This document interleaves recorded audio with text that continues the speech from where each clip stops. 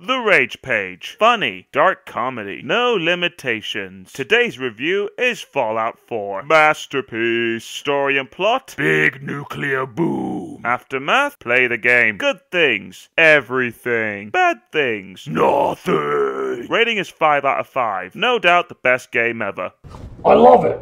I'm done with this. Bye.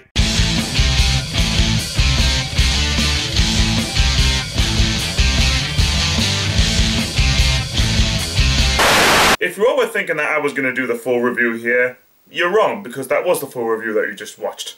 Why do you ask? April Fools, motherfuckers! Woo!